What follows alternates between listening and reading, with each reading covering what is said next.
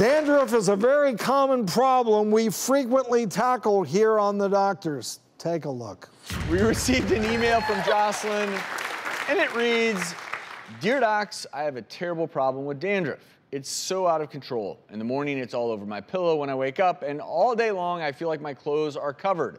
I'm itchy all the time. My colleagues at work always ask me when the last time I washed my hair was. Aw. What's the best way to treat extreme dandruff? Good question.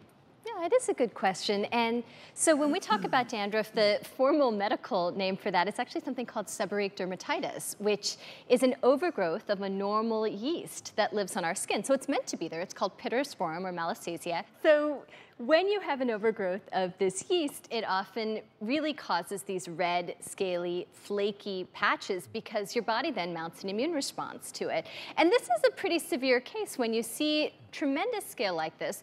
My only concern about this is sometimes when you already have a lot of inflammation on your scalp, it actually disrupts the normal immune response and you can sometimes even get a secondary bacterial infection. So for Jocelyn, what I would probably recommend is she, do, she does see someone and make sure they do a culture swab and just ensure that it's only the normal yeast that's meant to be there. Because I actually saw a case like this where it was actually a child and she had this horrible, horrible, what they kept calling cradle cap and treating it like seborrheic dermatitis. And we did a swab and it was actually Staph aureus bacteria that had colonized in a mm. secondary way. So for really severe cases like this, I do think it's worth evaluating. Now, Jocelyn did give us more information. It turns out she's tried a whole bunch of different things for this. Everything from oils to Listerine to tea tree oil to over-the-counter dandruff shampoos. And sometimes I do think with seborrheic dermatitis, this happens a lot, where people keep throwing oils at it because they think it's dry and flaky and that's going to help.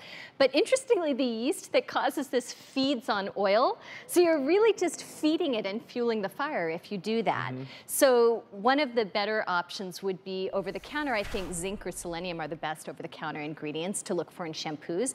But in her case, I know she's tried one prescription strength shampoo that has something called ketoconazole. It didn't work very well for her.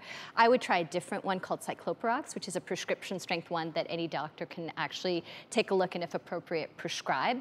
Um, I think also looking at her photos, she does have twists, which are synthetic hair mixed in with her natural hair. That's what was giving it that look. Okay. Exactly. And so I think a lot of times with people with synthetic hair mixed in, it can also trigger some inflammation. So, so there may be more than one thing going on here, but certainly Jocelyn, what we would recommend is do see someone, make sure it's only seborrheic dermatitis, and if it is, maybe up the ante to a different prescription strength product for it. Well, I hope she gets some help. Yeah, and then maybe How give long, how long after you start a shampoo will you be able to tell if it's effective or you should move on to the next possible treatment? Oh, it's pretty quick. So you would notice Actually, yeah, quickly. you would Okay. notice within weeks. Jocelyn, we wish you the best of luck with treating this.